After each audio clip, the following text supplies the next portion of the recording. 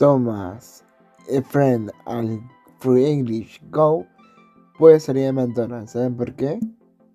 Porque Thomas a Friend ya estuvo en McDonald's en Japón y en otros países, en otros países del mundo. Así que posiblemente la nueva serie de Thomas Friends posiblemente puede salir en McDonald's. Y bueno, pues bueno chicos, recuerden dejar una suscribirse. Bye bye.